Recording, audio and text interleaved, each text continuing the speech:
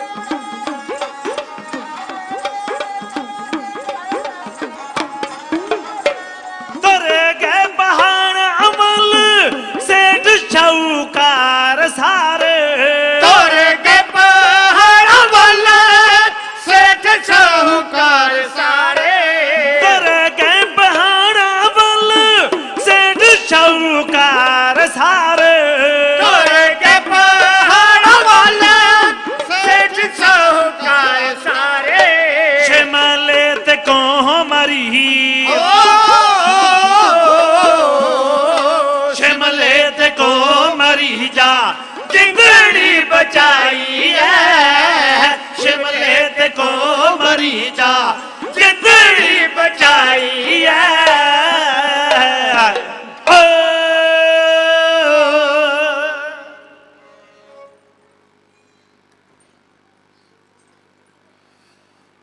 परम पूज वालिए कुल आलम।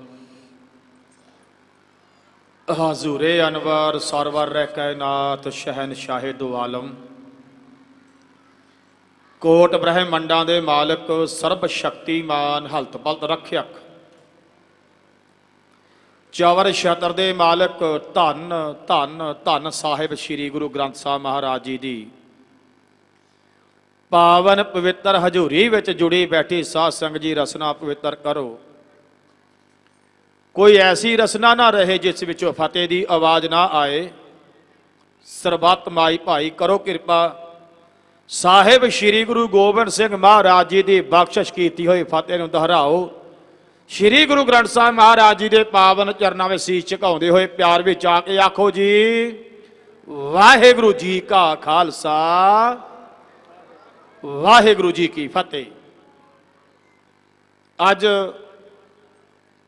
ਸਾਹਿਬ ਸ੍ਰੀ ਗੁਰੂ ਅਰਜਨ ਦੇਵ ਮਹਾਰਾਜ ਜੀ ਦਾ ਸ਼ਹੀਦੀ ਪੁਰਬ ਹੈ, ਸ਼ਹੀਦੀ ਦਿਹਾੜਾ ਮਨਾਇਆ ਜਾ ਰਿਹਾ ਹੈ।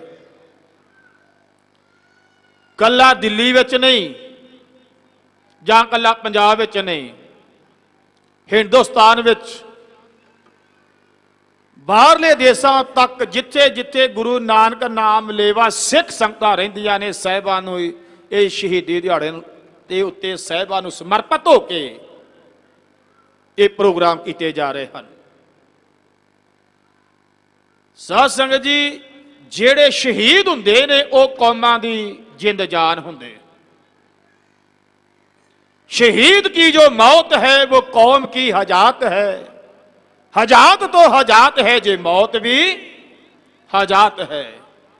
ਵਿਗੜਦੇ ਕੰਮਾਂ ਨੂੰ ਰੋਕਣ ਦੇ ਚਾਰੇ ਰੋਕ ਲੈਂਦੇ ਨੇ। ਰੁੱਸੇ ਰੁੱਸੇ ਜਾਂਦੇ ਨੂੰ ਮਿੰਤਾ ਕਰਕੇ ਪਿਆਰੇ ਰੋਕ ਲੈਂਦੇ ਨੇ, ਨਸੱਤੀ ਹੋ ਕੇ ਕੌਮ ਜਦ ਮਿਟਣ ਤੇ ਆਉਂਦੀ ਤਾਂ ਕੌਮ ਨੂੰ ਖੂਨੀ ਫੁਹਾਰੇ ਰੋਕ ਲੈਂਦੇ ਨੇ। ਸਾਹਿਬ ਸ੍ਰੀ ਗੁਰੂ ਅਰਜਨ ਦੇਵ ਮਹਾਰਾਜ ਜੀ ਨੇ ਤਤੀਆਂ ਤਵੀਆਂ ਉੱਤੇ ਬਹਿ ਕੇ, ਡੇਗ ਵਿੱਚ ਉਬਲ ਕੇ, ਤੱਤੀ ਰੇਤਾ ਸੀਸ ਤੇ ਪਵਾ ਕੇ ਕਸ਼ਟ ਸਹਾਰੇ ਨੇ। ਸਾਧ ਸੰਗਤ ਜੀ, ਉਹਨਾਂ ਨੇ ਤਤੀ ਤਵੀ ਉੱਤੇ ਬਹਿ ਕੇ ਵੀ ਇੰਨੀ ਨਿਮਰਤਾ ਰੱਖੀ, ਇੰਨਾ ਸ਼ਾਂਤੀ ਸਰੂਪ ਸਨ ਸਤਿਗੁਰੂ ਜੀ। ਉਹ ਤਤੀ ਰੇਤ ਪਾਉਣ ਵਾਲਾ ਰੇਤਾ ਪਾ ਰਿਹਾ ਤੇ ਸਾਹਿਬ ਕਹਿੰਦੇ ਨੇ, ਵਾਹਿਗੁਰੂ ਵਾਹਿਗੁਰੂ ਵਾਹਿਗੁਰੂ ਦਾ ਜਾਪ ਕਰ ਰਹੇ ਨੇ। ਇਸ ਇਤਿਹਾਸ ਦੇ ਨਾਲ ਮੈਂ ਤੁਹਾਡੇ ਸਰਮੁਖ ਸਾਹਿਬਾਂ ਦੀ ਪਾਵਨ ਹਜ਼ੂਰੀ ਵਿੱਚ ਕੁਝ ਵਿਚਾਰਾਂ ਰੱਖਣ ਦਾ ਯਤਨ ਕਰਨਾ ਹੈ। ਤਕਰੀਬਨ ਸਮਾਂ ਮੈਨੂੰ 4:30 ਵਜੇ ਤੱਕ ਹੈ, ਜੋ ਇਸ਼ਤਿਹਾਰ ਵਿੱਚ ਹੈ। ਤੇ ਮੈਂ 4:30 ਵਜੇ ਸਮਾਪਤੀ ਕਰ ਦਿਆਂਗਾ। ਪਰ ਮੈਂ ਬਹੁਤਾ ਤੋਹੀਦ ਵਿੱਚ ਨਹੀਂ ਜਾਣਾ ਚਾਹੁੰਦਾ, ਬਹੁਤਾ ਲੰਬੇਰਾ ਨਹੀਂ ਜਾਣਾ ਚਾਹੁੰਦਾ, ਕਿਉਂਕਿ ਜੇ ਮੈਂ ਬਹੁਤਾ ਲੰਬੇਰਾ ਟੁਰ ਗਿਆ, ਪਿਛੋਕੜ ਸ਼ੁਰੂ ਕਰ ਲਿਆ, ਤੇ ਮੈਂ ਸ਼ਹਾਦਤ ਤੱਕ ਨਹੀਂ ਲਿਜਾ ਸਕਾਂਗਾ। ਕਿਰਪਾ ਕਰੋ, ਦਾਸ ਦੀ ਬੇਨਤੀ ਪ੍ਰਵਾਨ ਕਰਿਓ ਜੇ ਜਿੰਨੇ ਵੀ ਜੀਵ, ਜਿੰਨੀਆਂ ਵੀ ਸਿੱਖ ਸੰਗਤਾਂ ਗੁਰੂ ਦਰਬਾਰ ਦੀ ਹਾਜ਼ਰੀ ਭਰ ਰਹੇ ਜੇ ਬਸ ਇੱਕ ਛੋਟੀ ਜੀ ਬੇਨਤੀ ਪ੍ਰਵਾਨ ਕਰਿਓ, ਜਿੰਨਾ ਚਿਰ ਵੀ ਤੁਸਾਂ ਨੇ ਬਹਿਣਾ, ਸਾਹਿਬਾਂ ਦੇ ਚਰਨਾਂ ਨਾਲ ਮਨ ਜੋੜਿਓ ਜੀ। ਬੇਨਤੀ ਹੱਥ ਜੋੜ ਕੇ। ਸਾਹਿਬਾਂ ਦੇ ਚਰਨਾਂ ਨਾਲ ਮਨ ਜੋੜ ਕੇ ਹੋਰ ਹੈ ਕਥਾ ਕੀਰਤਨ ਨੂੰ ਸ਼ਰਵਣ ਕਰਕੇ ਆਪਣੇ ਜੀਵਨ ਨੂੰ ਸਫਲ ਬਣਾਉਣ ਦਾ ਯਤਨ ਕਰਿਓ। ਬਿਰਤੀ ਇਕਾਗਰ ਕਰਨ ਵਾਸਤੇ ਕਰੋ ਕਿਰਪਾ, ਆਖੋ ਜੀ, ਸਤਨਾਮ। ਕਰੋ ਕਿਰਪਾ, ਸਾਰੀਆਂ ਸੰਗਤਾਂ ਵਾਹਿਗੁਰੂ ਆਖੋਗੇ, ਰਸਨਾ ਸੁੱਚੀ ਹੋਵੇਗੀ, ਸੱਚ ਕਹਿਣ ਦੀ, ਸੱਚ ਸੁਣਨ ਦੀ ਹਿੰਮਤ ਆਵੇਗੀ, ਆਖੋ ਜੀ। ਸਤਨਾਮ ਵਾਹਿਗੁਰੂ। ਸਾਹਿਬ ਸ੍ਰੀ ਗੁਰੂ ਅਰਜਨ ਦੇਵ ਮਹਾਰਾਜ ਜੀ ਜਦੋਂ ਗੱਦੀ ਤੇ ਸ਼ੋਭਨੀਕ ਹੋਏ ਨੇ ਇਹ ਉਹਨਾਂ ਦੀ ਵਿਰੋਧਤਾ ਬਹੁਤ ਸਾਰੀ ਹੋਈ। ਸਭ ਤੋਂ ਪਹਿਲਾਂ ਵਿਰੋਧੀ ਬਾਬਾ ਬਿਰਥੀ ਚੰਦ ਜੀ ਬਣ ਗਏ। ਗੱਲ ਇਹ ਸੀ ਵੀ ਮੈਨੂੰ ਗੱਦੀ ਨਹੀਂ ਮਿਲੀ। ਹੁਣ ਗੱਦੀ ਜਿਹੜੀ ਹੈ, ਇਹ ਪਿਤਾ ਪੁਰਖੀ ਨਹੀਂ ਜੇ ਸਾਧ ਸੰਗਤ ਜੀ, ਜਿਹੜੀ ਗੁਰਗੱਦੀ ਹੈ ਨਾ, ਪਿਤਾ ਪੁਰਖੀ ਨਹੀਂ। ਤੇ ਜਿਹੜੀ ਰਾਜ ਗੱਦੀ ਹੁੰਦੀ ਹੈ, ਉਹ ਪਿਤਾ ਪੁਰਖੀ ਹੁੰਦੀ ਹੈ। ਅੱਜ ਦੀ ਰਾਜ ਗੱਦੀ ਦੀ ਗੱਲ ਨਹੀਂ ਕਰ ਰਿਹਾ ਮੈਂ। ਅੱਜ ਤੇ ਵੋਟਿੰਗ ਰਾਜ ਹੈ। ਵੋਟਾਂ ਪੈਂਦੀਆਂ, ਜਿਹਨੂੰ ਵੱਧ ਪੈ ਗਈਆਂ, ਉਹ ਜਿੱਤ ਜਾਂਦਾ, ਉਹ ਮਾਲਕ ਬਣ ਜਾਂਦਾ ਗੱਦੀ ਦਾ। ਪਰ ਮੈਂ ਪੁਰਾਣੇ ਸਮੇਂ ਦੀ ਵੀ ਗੱਲ ਪਿਆ ਕਰਨਾ ਵਾ। ਉਦੋਂ ਰਾਜੇ ਹੁੰਦੇ ਸਨ, ਰਾਜੇ ਮਹਾਰਾਜੇ। ਇੱਕ ਰਾਜਾ ਗੱਦੀ ਦੇ ਸ਼ੋਭਨੀਕੇ ਜਦੋਂ ਉਹਦਾ ਦੇਹਾਂਤ ਹੁੰਦਾ, ਜਾਂ ਅਕਾਲ ਚਲਾਣਾ ਕਰ ਜਾਂਦਾ, ਅਗਲੀ ਦੁਨੀਆ ਨੂੰ ਚਲਾ ਜਾਂਦਾ ਤੇ ਸਾਧ ਸੰਗਤ ਜੀ ਉਹਦਾ ਪੁੱਤਰ ਗੱਦੀ ਤੇ ਪੈਂਦਾ ਇਹ ਪਿਤਾ ਪੁਰਖੀ ਕੰਮ ਹੈ। ਉਹ ਮਰ ਗਿਆ। ਉਹਦੇ ਬਾਅਦ ਉਹਦਾ ਪੁੱਤਰ ਗੱਦੀ ਤੇ ਬਹਿ ਗਿਆ। ਉਹ ਮਰ ਗਿਆ, ਉਹਦੇ ਬਾਅਦ ਉਹਦਾ ਪੁੱਤਰ ਗੱਦੀ ਤੇ ਬਹਿ ਗਿਆ ਐਦਾਂ ਹੀ ਕੰਮ ਚੱਲੀ ਜਾਂਦਾ ਸੀ। ਪਰ ਸਾਧ ਸੰਗਤ ਜੀ, ਇਹ ਜਿਹੜੀ ਗੁਰਗੱਦੀ ਹੈ, ਇਹ ਇਸ ਤਰ੍ਹਾਂ ਨਹੀਂ ਜੇ ਮਿਲਦੀ। ਇਹ ਤੇ ਮਿਲਦੀ ਏ ਉਹਨੂੰ ਜਿਹਦੇ ਵਿੱਚ ਗੁਣ ਹੋਣ ਗੱਦੀ ਨੂੰ ਚਲਾਉਣ ਜੋਗੇ। ਜਿਹਦੇ ਵਿੱਚ ਸਹਿਨਸ਼ੀਲਤਾ ਹੋਵੇ, ਜਿਹਦੇ ਵਿੱਚ ਪੂਰੀ ਦੁਨੀਆ ਨੂੰ ਇੱਕ ਨਜ਼ਰ ਨਾਲ ਵੇਖਣ ਦਾ ਜਜ਼ਬਾ ਹੋਵੇ ਜਿਹਦੇ ਵਿੱਚ ਇੰਨੇ ਗੁਣ ਹੋਣ ਕਿ ਕੋਈ ਵੱਧ ਵੀ ਗੱਲ ਕਰ ਜੇ ਤੇ ਤਾਂ ਵੀ ਕੋਈ ਗੱਲ ਨਹੀਂ। ਜੇ ਕੋਈ ਅਪਮਾਨ ਕਰ ਜਾਏ ਤਾਂ ਵੀ ਕੋਈ ਗੱਲ ਨਹੀਂ। ਜੇ ਕਿਸੇ ਨੇ ਮਾਣ ਕਰ ਦਿੱਤਾ ਤੇ ਤਾਂ ਵੀ ਕੋਈ ਗੱਲ ਨਹੀਂ। ਐਸੇ ਬੰਦੇ ਹੀ, ਐਸੇ ਗੁਰੂ ਹੀ, ਐਸੇ ਮਹਾਂਪੁਰਖ, ਐਸੇ ਸੰਤ ਇਸ ਗੱਦੀ ਨੂੰ ਚਲਾ ਸਕਦੇ ਨੇ ਤੇ ਉਹ ਸਾਰੇ ਗੁਣ ਗੁਰੂ ਰਾਮਦਾਸ ਮਹਾਰਾਜ ਜੀ ਨੇ ਪੰਚਮ ਪਾਤਸ਼ਾਹ ਜੀ ਵਿੱਚ ਵੇਖੇ। ਪੰਚਮ ਪਾਤਸ਼ਾਹ ਜੀ ਨੂੰ ਗੱਦੀ ਦੀ ਭਾਰੀ ਜ਼ਿੰਮੇਵਾਰੀ ਸੌਂਪੀ ਗਈ। ਤੇ ਬਾਬਾ ਪਿਰਥੀ ਚੰਦ ਜੀ ਨੇ ਬਹੁਤ ਵੱਡੀ ਵਿਰੋਧਤਾ ਕੀਤੀ, ਜਿੱਥੇ ਬਾਬਾ ਪਿਰਥੀ ਚੰਦ ਜੀ ਵਿਰੋਧਤਾ ਕਰਦੇ ਨੇ, ਉਹਨਾਂ ਦੇ ਨਾਲ ਨਾਲ ਜਿਹੜੇ ਮੁੱਲਾ ਮਲਾਣੇ ਪੰਡਤ ਬ੍ਰਾਹਮਣ ਜਿਨ੍ਹਾਂ ਦੇ ਇਹ ਪਖੰਡ ਰਚੇ ਸਨ, ਪਖੰਡ ਰਚ ਕੇ ਲੋਕਾਂ ਨੂੰ ਗੁੰਮਰਾਹ ਕਰਕੇ ਉਹਨਾਂ ਦੀ ਮਾਇਆ ਹੜੱਪੀ ਜਾਂਦੇ ਸਨ ਸਤਸੰਗ ਜੀ, ਉਹਨਾਂ ਦਾ ਪਰਦਾ ਫਾਸ਼ ਹੁੰਦਾ ਸੀ ਤੇ ਉਹ ਵੀ ਗੁਰੂ ਘਰ ਦੇ ਵਿਰੋਧੀ ਹੋ ਗਏ। ਸਭ ਤੋਂ ਵੱਡਾ ਵਿਰੋਧੀ ਧੜਾ ਉਹ ਸੀ ਜਹਾਂਗੀਰ ਬਾਦਸ਼ਾਹ। ਹੁਣ ਕੁਝ ਲਿਖਾਰੀ ਇਹ ਲਿਖਦੇ ਨੇ ਵੀ ਚੰਦੂ ਨੇ ਹੁਕਮ ਦੇ ਨਾਲ ਸਾਹਿਬ ਸ੍ਰੀ ਗੁਰੂ ਅਰਜਨ ਦੇਵ ਮਹਾਰਾਜ ਜੀ ਨੂੰ ਸ਼ਹੀਦ ਕੀਤਾ ਗਿਆ ਨਹੀਂ ਸੱਸ ਜੀ, ਇਹ ਗੱਲ ਗਲਤ ਹੈ। ਹੁਕਮ ਸੀ ਜਹਾਂਗੀਰ ਦਾ। ਇਹ ਗੱਲ ਸੱਚੀ ਹੈ ਕਿ ਜਹਾਂਗੀਰ ਦੇ ਹੁਕਮ ਦੇ ਕੇ ਇੱਥੋਂ ਚਲਾ ਗਿਆ ਤੇ ਫਿਰ ਚੰਦੂ ਨੇ ਤਸੀਹੇ ਦੇਣ ਵਿੱਚ ਤਸ਼ੱਦਦ ਕਰਨ ਵਿੱਚ ਕਸਰ ਬਾਕੀ ਕੋਈ ਨਹੀਂ ਛੱਡੀ। ਇਹ ਗੱਲ ਅਟਲ ਹੈ। ਸਾਧ ਸੰਗਤ ਜੀ, ਜਿਸ ਵੇਲੇ ਜਹਾਂਗੀਰ ਬਾਦਸ਼ਾਹ ਗੱਦੀ ਤੇ ਸ਼ੋਭਨੀਕ ਹੋਇਆ ਤੇ ਮੈਂ ਤੁਹਾਨੂੰ ਇੱਕ ਗੱਲ ਦੱਸ ਦੇਵਾਂ। ਜਹਾਂਗੀਰ ਨੂੰ ਗੱਦੀ ਨਹੀਂ ਸੀ ਦੇਣੀ ਚਾਹੁੰਦਾ ਇਹਦਾ ਪਿਤਾ। ਇਹਦਾ ਪਿਤਾ ਗੱਦੀ ਨਹੀਂ ਸੀ ਦੇਣੀ ਚਾਹੁੰਦਾ, ਅਕਬਰ। ਇਹਦਾ ਕਾਰਨ ਸੀ ਕਿ ਜਹਾਂਗੀਰ ਬੜਾ ਗੁਸਤਾਖ ਬੰਦਾ ਸੀ। ਇਹਨੇ ਅਕਬਰ ਦੇ ਹੁੰਦਿਆਂ ਹੀ ਬਗਾਵਤ ਕਰਤੀ। ਅਫਜ਼ਲ ਹ- ਫਜ਼ਲ ਵਰਗੇ ਜਿਹੜੇ ਚੰਗੇ, ਸੂਝਵਾਨ ਸਿਆਣੇ ਜਿਹੜੇ ਦਰਬਾਰੀ ਸਨ, ਉਹਨਾਂ ਨੂੰ ਮਰਵਾ ਦਿੱਤਾ। ਤੇ ਜਦੋਂ ਅਕਬਰ ਬਿਮਾਰ ਹੋਇਆ ਅਕਬਰ ਬਿਮਾਰ ਹੋ ਕੇ ਮੰਜੇ ਤੇ ਪੈ ਗਿਆ ਤੇ ਰਾਜ ਪ੍ਰਬੰਧ ਚਲਾਉਣ ਲੱਗ ਪਿਆ, ਜਹਾਂਗੀਰ। ਹੁਣ ਆਪ ਆਖੋਗੇ ਵੀ ਜੇ ਅਕਬਰ ਬਾਦਸ਼ਾਹ ਆਪਣੇ ਪੁੱਤਰ ਨੂੰ ਗੱਦੀ ਨਹੀਂ ਸੀ ਦੇਣੀ ਚਾਹੁੰਦਾ ਤੇ ਕਿਹਨੂੰ ਗੱਦੀ ਦੇਣੀ ਚਾਹੁੰਦਾ ਸੀ ਉਹ? ਉਹ ਆਪਣੇ ਪੋਤਰੇ ਅਮੀਰ ਖੁਸਰੋ ਨੂੰ ਗੱਦੀ ਦੇਣੀ ਚਾਹੁੰਦਾ ਸੀ। ਦੋ ਧੜੇ ਸਨ ਇਸ ਅਕਬਰ ਦੇ ਦਰਬਾਰ ਵਿੱਚ। ਇੱਕ ਧੜਾ ਜਹਾਂਗੀਰ ਦਾ ਸੀ, ਜਿਹੜਾ ਜਹਾਂਗੀਰ ਦੇ ਹਮਾਇਤੀ ਸਨ ਤੇ ਦੂਜਾ ਧੜਾ ਸੀ ਅਕਬਰ ਅਤੇ ਅਮੀਰ ਖੁਸਰੋ ਦਾ। ਇਤਿਹਾਸਕਾਰ ਕਹਿੰਦੇ ਨੇ ਅਮੀਰ ਖੁਸਰੋ ਤੇ ਅਕਬਰ ਦੇ ਧੜੇ ਵਿੱਚ ਬਹੁਤੇ ਬੰਦੇ ਸਨ, ਉਹਨਾਂ ਦੀ ਜਿਆਦੀ ਗੱਲ ਸੀ। ਤੇ ਸਾਧ ਸੰਗਤ ਜੀ, ਕਿਉਂਕਿ ਉਹ ਸਮੇਂ ਦਾ ਬਾਦਸ਼ਾਹ ਸੀ ਨਾ, ਉਹਦੇ ਵੱਲ ਜ਼ਿਆਦਾ ਬੰਦੇ ਸਨ। ਪਰ ਦੋ ਧੜੇ ਸੀ, ਖਿੱਚੋ ਤਾਣ ਰਹਿੰਦੀ ਸੀ। ਆਖਰਕਾਰ ਜਹਾਂਗੀਰ ਗੱਦੀ ਦੇ ਸ਼ੋਭਨੀਕ ਹੋ ਗਿਆ ਉਹਨੇ ਰਾਜ ਪ੍ਰਬੰਧ ਸੰਭਾਲ ਲਿਆ ਹੈ। ਤੇ ਇੱਕ ਸਾਲ ਅਜੇ ਪੂਰਾ ਨਹੀਂ ਸੀ ਹੋਇਆ ਜਹਾਂਗੀਰ ਨੂੰ ਗੱਦੀ ਤੇ ਬੈਠਿਆ। ਜਾਂ ਫਿਰ ਅਮੀਰ ਖੁਸਰੋ ਨੇ ਬਗਾਵਤ ਕਰਕੇ ਤੇ ਬਗਾਵਤ ਦਾ ਝੰਡਾ ਖੜਾ ਕਰ ਦਿੱਤਾ ਹੈ। ਉਹ ਚਾਹੁੰਦਾ ਸੀ ਗੱਦੀ ਮੈਨੂੰ ਮਿਲੇ। ਸਾਧ ਸੰਗਤ ਜੀ, ਜਿਹੜਾ ਜਹਾਂਗੀਰ ਹੈ, ਇਹ ਆਪਣੀ ਕਲਮ ਦੇ ਨਾਲ ਤੌਜ਼ ਕੇ ਜਹਾਂਗੀਰੀ ਵਿੱਚ ਲਿਖਦਾ ਹੈ। ਜਹਾਂਗੀਰ ਬਾਦਸ਼ਾਹ ਤੌਜ ਕੇ ਜਹਾਂਗੀਰੀ ਵਿੱਚ ਲਿਖਦਾ ਜਿਹੜੀ ਸਵੈ ਜੀਵਨੀ ਹੁੰਦੀ ਹੈ, ਪੂਰੇ ਜੀਵਨ ਦੀ ਇੱਕ ਬਾਦਸ਼ਾਹ ਦੀ ਕਿਤਾਬ ਹੁੰਦੀ ਹੈ, ਉਹਨੂੰ ਤੌਜ ਕੇ ਜਹਾਂਗੀਰ ਨੇ ਆਪ ਲਿਖਿਆ। ਤੇ ਇਹ ਛਪੀ ਕਦੋਂ ਸੀ? ਨੇਵਲ ਕਿਸ਼ੋਰ ਲਖਨਊ ਦੀ ਇੱਕ ਪ੍ਰੈਸ ਹੈ, ਉਹਦੇ ਵਿੱਚ ਇਹ ਛਪੀ ਸੀ। ਤੇ ਜੇ ਮੈਂ ਭੁੱਲਦਾ ਨਹੀਂ ਤੇ ਸਾਧ ਜੀ, ਲਖਨਊ ਵਿੱਚ ਹੀ ਅਜੇ ਤੌਜ ਕੇ ਜਹਾਂਗੀਰੀ ਪਈ ਹੈ। ਉੱਥੋਂ ਦੀ ਜਿਹੜੀ ਲਾਇਬ੍ਰੇਰੀ ਹੈ ਨਾ, ਉਹਦੇ ਵਿੱਚ ਪਈ ਹੈ ਸ਼ਾਇਦ। ਸਾਧ ਸੰਗਤ ਜਿਸ ਵੇਲੇ ਜਹਾਂਗੀਰ ਨੇ ਤੌਜ ਕੇ ਜਹਾਂਗੀਰੀ ਲਿਖੀ, ਉਹਨੇ ਇਹ ਲਿਖਿਆ ਕਹਿ ਲੱਗਾ, ਦਰਿਆ ਬਿਆਸ ਦੇ ਕੰਢੇ ਦੇ ਉੱਤੇ ਇੱਕ ਗੋਇੰਦਵਾਲ ਨਗਰ ਹੈ। ਤੇ ਕਹਿੰਦੇ, ਉਸ ਨਗਰ ਦੇ ਵਿੱਚ ਇੱਕ ਅਰਜਨ ਨਾਮ ਦਾ ਹਿੰਦੂ ਰਹਿੰਦਾ। ਉਹ ਗੁਰੂਆਂ ਤੇ ਪੀਰਾਂ ਦੇ ਭੇਸ ਵਿੱਚ ਸੀ ਚਾਰ ਸਵੇਰੇ ਤੋਂ ਲੋਕ ਆਉਂਦੇ ਨੇ, ਉਹਨੂੰ ਮੱਥਾ ਟੇਕਦੇ, ਉਹਨੂੰ ਨਕਮਸਤਕ ਹੁੰਦੇ, ਉਹਨੂੰ ਭੇਟਾ ਚੜਾਉਂਦੇ। ਕਹਿੰਦੇ ਨੇ, ਬਹੁਤ ਦੂਰ ਦੂਰ ਤੋਂ ਫਰੇਬ ਅਤੇ ਫਰੇਬ ਦੇ ਪੁਜਾਰੀ ਉਹਦੇ ਕੋਲ ਆ ਕੇ ਉਹਦੀਆਂ ਇਹ ਚਰਨਾਂ 'ਚ ਬਹਿੰਦੇ, ਉਹਨੂੰ ਮੱਥਾ ਟੇਕਦੇ, ਭੇਟਾ ਦਿੰਦੇ। ਕਹਿਣ ਲੱਗੇ, ਉਹ ਉਹਨਾਂ ਦੀਆਂ ਮਨੋ ਕਾਮਨਾ ਪੂਰਨ ਕਰਦਾ ਹੈ। ਤੇ ਕਹਿੰਦੇ, ਚਾਰ ਪੰਜ ਪੀੜ੍ਹੀਆਂ ਤੋਂ ਉਹਨਾਂ ਦੀ ਇਹ ਝੂਠ ਦੀ ਦੁਕਾਨ ਬੜੀ ਗਰਮ ਹੈ। ਉਹ ਸਿੱਖੀ ਨੂੰ ਝੂਠ ਦੀ ਦੁਕਾਨ ਲਿਖਦਾ ਹੈ।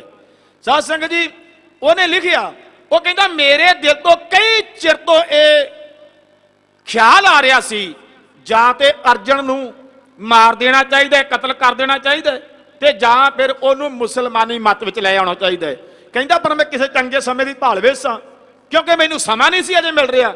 ਜੇ ਮੈਂ ਉਹਨੂੰ ਬਿਨਾਂ ਕਿਸੇ ਕਾਰਨ ਕਹਿੰਦਾ, ਮੈਂ ਗ੍ਰਿਫਤਾਰ ਕਰ ਲੈਂਦਾ, ਉਹ ਤੇ ਤਸ਼ੱਦਦ ਕਰਦਾ, ਸਖਤੀ ਕਰਦਾ, ਤੇ ਲੋਕਾਂ ਨੇ ਮੈਨੂੰ ਦੁਸ਼ਟ ਆਖਣਾ ਸੀ। ਲੋਕਾਂ ਨੇ ਮੈਨੂੰ ਨਾਲਾਇਕ ਆਖਣਾ ਸੀ ਲੋਕਾਂ ਨੇ ਮੈਨੂੰ ਇਹ ਕਿਰਤ ਘਣ ਕਹਿਣਾ ਸੀ। ਲੋਕਾਂ ਨੇ ਕਹਿਣਾ ਸੀ, ਇਹ ਜ਼ਾਲਮ ਹੈ। ਤਾਂ ਕਰਕੇ ਕਹਿੰਦਾ, ਮੈਂ ਇਹਨੂੰ ਪਹਿਲਾ ਗ੍ਰਿਫਤਾਰ ਨਹੀਂ ਕੀਤਾ।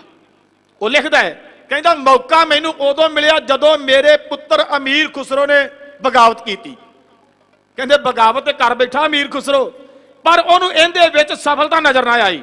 ਉਹਨੇ ਹਸਨ ਬੇਗ ਫੌਜਦਾਰ ਨੂੰ ਨਾਲ ਲੈ ਲਏ ਤੇ 700 ਬੰਦਾ ਲੈ ਕੇ ਇਹ ਆਗਰੇ ਦੇ ਕਿਲੇ ਵਿੱਚੋਂ ਨਿਕਲੇ ਨੇ। ਆ ਜਰਨੈਲੀ ਸੜਕ ਰਾਹੀਂ ਹੁੰਦੇ ਹੋਏ ਤੇ ਆਪ ਪਹੁੰਚ ਗਏ ਗੋਇੰਦਵਾਲ ਸਾਹਿਬ। ਸਾਹਿਬ, ਸ੍ਰੀ ਗੁਰੂ ਅਰਜਨ ਦੇਵ ਮਹਾਰਾਜ ਜੀ ਦੇ ਚੱਲਦੇ ਲੰਗਰ ਵਿੱਚੋਂ ਇਹਨਾਂ ਪ੍ਰਸ਼ਾਦਾ ਛਕਿਆ। ਕੁਝ ਸਮਾਂ ਇੱਥੇ ਆਰਾਮ ਕੀਤਾ। ਤਰਨ ਤਾਰਨ ਰਾਹੀਂ ਇਹ ਲਾਹੌਰ ਪਹੁੰਚੇ ਨੇ ਤੇ ਲਾਹੌਰ ਤੋਂ ਅੱਗੇ ਜਦੋਂ ਚਲਾ ਗਿਆ ਇਹ ਚਨਾਹ ਦੇ ਕੰਢੇ ਉੱਤੇ ਤੇ ਕਹਿੰਦੇ ਉੱਥੇ ਜਾ ਕੇ ਇਹ ਪਕੜਿਆ ਗਿਆ। ਇਹਦਾ 700 ਬੰਦਾ ਤੇ ਇਹ ਅਮੀਰ ਖੁਸਰੋ ਨੂੰ ਲਾਹੌਰ ਲਿਆਂਦਾ ਗਿਆ। ਤੇ ਮੰਗਰਾ ਮੰਗਰ ਆ ਰਿਹਾ ਜਹਾਂਗੀਰ ਬਾਦਸ਼ਾਹ। ਜਿਹੜੇ ਜਿਹੜੇ ਜਗ੍ਹਾ ਤੋਂ ਜਹਾਂਗੀਰ ਇਹ ਲੰਘਿਆ ਅਮੀਰ ਖੁਸਰੋ, ਉਹਨਾਂ ਉਹਨਾਂ ਜਗ੍ਹਾ ਤੋਂ ਜਹਾਂਗੀਰ ਲੰਘਿਆ ਜਿੱਥੋਂ ਪਤਾ ਲੱਗਾ ਨਾ ਕਿਸੇ ਨੇ ਚੁਗਲੀ ਕਰਤੀ, ਬਈ ਇਹਨਾਂ ਨੇ ਅਮੀਰ ਖੁਸਰੋ ਦੀ ਮਦਦ ਕੀਤੀ ਹੈ, ਉਹਨੂੰ ਮਾਰ ਦਿੱਤਾ ਗਿਆ। ਤਸ਼ੱਦਦ ਕੀਤਾ ਗਿਆ ਉਹਦੇ ਉੱਤੇ। ਉਹ ਜਦੋਂ ਸਾਰਾ ਕੁਝ ਕਰਦਾ ਇਹ ਤੋਂ ਤੁਰਿਆ ਆ ਰਿਹਾ ਸੀ, ਕਹਿੰਦੇ ਉਹ ਵੀ ਗੋਇੰਦਵਾਲ ਗਿਆ ਹੈ। ਗੋਇੰਦਵਾਲ ਤੋਂ ਲੰਘਿਆ ਤਰਨ ਤਾਰਨ ਗਿਆ। ਤਰਨ ਤਾਰਨ ਤੋਂ ਲਾਹੌਰ ਪਹੁੰਚਾ ਤੇ ਜਦੋਂ ਲਾਹੌਰ ਚਲਾ ਗਿਆ, ਕਹਿੰਦੇ ਉੱਥੇ ਅਮੀਰ ਖੁਸਰੋ ਨੂੰ ਤੇ 700 ਬੰਦੇ ਨੂੰ ਇਹਦੇ ਦਰਬਾਰ 'ਚ ਪੇਸ਼ ਕੀਤਾ ਗਿਆ।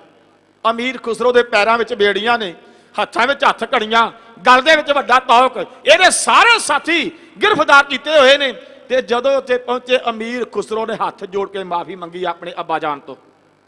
ਚਰਨਾਂ ਤੇ ਢਹਿ ਪਿਆ। ਅੱਬਾ ਜਾਨ, ਮੈਥੋਂ ਗਲਤੀ ਹੋ ਗਈ ਹੈ। ਅੱਗੇ ਤੋਂ ਇਹੋ ਜੀ ਗਲਤੀ ਨਹੀਂ ਕਰਾਂਗੇ, ਇੱਕ ਵਾਰ ਮਾਫ ਕਰ ਦਿਓ। ਤੇ ਅਮੀਰ ਖੁਸਰੋ ਨੇ ਜਦੋਂ ਮਾਫੀ ਮੰਗੀ ਤੇ ਕਹਿੰਦੇ, ਜਿਹੜਾ ਸੀ ਨਾ ਜਹਾਂਗੀਰ ਬਾਦਸ਼ਾਹ ਉਹਨੇ ਆਖਿਆ, ਫੇਰ ਵੀ ਮੇਰਾ ਪੁੱਤਰ ਹੈ। ਚਲੋ, ਇਹਨੂੰ ਆਪਣੀ ਗਲਤੀ ਦਾ ਅਹਿਸਾਸ ਹੋ ਗਿਆ ਹੈ, ਇਹਨੂੰ ਮਾਫ ਕਰ ਦੇਣਾ ਚਾਹੀਦਾ ਹੈ। ਉਹਨੇ ਮਾਫ ਕਰ ਦਿੱਤਾ। ਪਰ ਕੱਲੇ ਨੂੰ ਮਾਫ ਕੀਤਾ 700 ਬੰਦੇ ਨੂੰ ਮਾਫ ਨਹੀਂ ਕੀਤਾ। ਮਾਫੀ ਉਹਨਾਂ ਵੀ ਮੰਗੀ 700 ਬੰਦਿਆਂ ਨੇ, ਪਰ ਉਹਨੂੰ ਮਾਫ ਨਹੀਂ ਕੀਤਾ ਇਹਨੇ। ਕਹਿੰਦੇ ਕੱਲੇ ਅਮੀਰ ਖੁਸਰੋ ਨੂੰ ਮਾਫ ਕਰਤਾ, ਬਾਕੀ ਸਾਰਿਆਂ ਬੰਦਿਆਂ ਨੂੰ ਕਿਸੇ ਨੂੰ ਖੋਤੇ ਦੀ ਖਾਲ ਵਿੱਚ ਮੜਿਆ, ਕਿਸੇ ਨੂੰ ਗਊ ਦੀ ਖਾਲ ਵਿੱਚ ਮੜਿਆ ਕਿਸੇ ਦੀਆਂ ਅੱਖਾਂ ਕੱਢ ਦਿੱਤੀਆਂ, ਕਿਸੇ ਦੀਆਂ ਦੋਵੇਂ ਬਾਹਾਂ ਵੱਢ ਦਿੱਤੀਆਂ, ਕਿਸੇ ਦੇ ਦੋਵੇਂ ਪੈਰ ਵੱਢ ਦਿੱਤੇ, ਕਈਆਂ ਨੂੰ ਕਿਸੇ ਤਰੀਕੇ ਨਾਲ ਤੇ ਕਈਆਂ ਨੂੰ ਕਿਸੇ ਤਰੀਕੇ ਨਾਲ ਜਹਾਂਗੀਰ ਬਾਦਸ਼ਾਹ ਨੇ ਖਤਮ ਕਰਤਾ ਸਾਰਿਆਂ ਨੂੰ। ਇਥੋਂ ਤੁਰਨ ਲੱਗਾ ਜਦੋਂ ਆਪਣੇ ਪੁੱਤਰ ਨੂੰ ਨਾਲ ਲੈ ਕੇ, ਗੁਰੂ ਘਰ ਦੇ ਵਿਰੋਧੀ ਰਲੇ ਨੇ, ਗੁਰੂ ਘਰ ਦੇ ਵਿਰੋਧੀਆਂ ਨੇ ਗੁਰੂ ਸਾਹਿਬ ਦੇ ਵਿਰੁੱਧ ਜਾ ਕੇ ਜਿਵੇਂ ਇਹਨਾਂ ਦੇ ਨਾਲ ਗੱਲਾਂ ਕੀਤੀਆਂ ਕਹਿਣ ਲੱਗੇ, ਤੁਸਾਂ ਨੇ ਬੜੀਆਂ ਸਜ਼ਾਵਾਂ ਦਿੱਤੀਆਂ ਜਿਨ੍ਹਾਂ ਨੇ ਇਸ ਅਮੀਰ ਖੁਸਰੋ ਦੀ ਮਦਦ ਕੀਤੀ ਹੈ ਉਹਨੇ ਕਿਹਾ, ਠੀਕ ਹੈ ਜਿਹੜਾ ਬਾਗੀ ਦੀ ਮਦਦ ਕਰਕੇ ਉਹ ਬਾਗੀ ਹੈ ਆਖਣ ਲੱਗੇ ਫਿਰ ਕੁਝ ਬੰਦੇ ਰਹਿ ਗਏ ਨੇ। ਕਿਹੜੇ ਬੰਦੇ ਰਹਿ ਗਏ? ਕਹਿਣ ਲੱਗੇ, ਗੁਰੂ ਅਰਜਨ ਦੇਵ ਮਹਾਰਾਜ ਜੀ ਰਹਿ ਗਏ, ਜਿਨ੍ਹਾਂ ਨੇ 5000 ਰੁਪਈਆ ਤੁਹਾਡੇ ਪੁੱਤਰ ਅਮੀਰ ਖੁਸਰੋ ਨੂੰ ਦਿੱਤਾ ਹੈ ਉਹਨਾਂ ਮਿੱਠੀਆਂ ਹੋਈਆਂ ਗੱਲਾਂ ਕੀਤੀਆਂ। ਕਹਿੰਦੇ, ਇੱਕ ਕੇਸਰ ਦਾ ਤਿਲਕ ਉਹਦੇ ਮੱਥੇ ਉੱਤੇ ਲਾਇਆ। ਤੇ ਕਹਿੰਦੇ ਨੇ, ਉਹਦੇ ਲੰਗਰ ਛਕਾ ਕੇ ਉਹਦੇ ਹੱਕ ਦੇ ਵਿੱਚ ਅਰਦਾਸ ਬੇਨਤੀ ਕੀਤੀ ਹੈ ਕਹਿਣ ਲੱਗੇ, ਉਹ ਰਹਿ ਗਏ।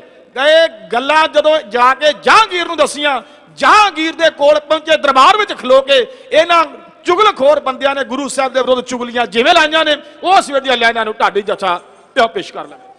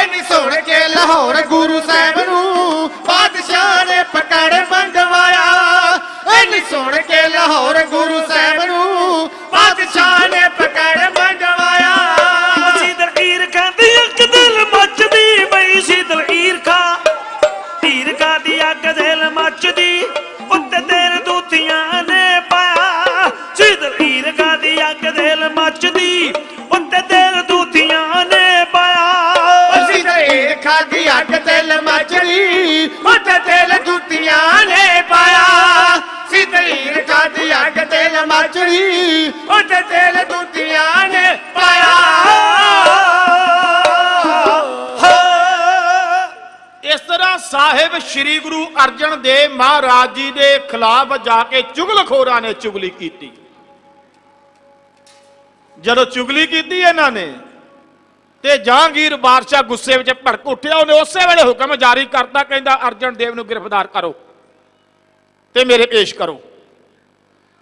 ਖਾਲਸਾ ਦੀ ਇੱਕ ਮੁਸਲਮਾਨ ਲਿਖਾਰੀ ਇਹ ਗੱਲ ਲਿਖਦਾ ਹੈ ਵੀ ਅਦਲੇ ਜਹਾਂਗੀਰ, ਉਹ ਆਪਣੀ ਭਾਸ਼ਾ ਵਿੱਚ ਲਿਖਦਾ ਹੈ ਵੀ ਜਹਾਂਗੀਰ ਇਨਸਾਫ ਪਸੰਦ ਬੰਦਾ ਸੀ, ਉਹਨੇ ਇਨਸਾਫ ਬੜਾ ਕੀਤਾ ਹੈ।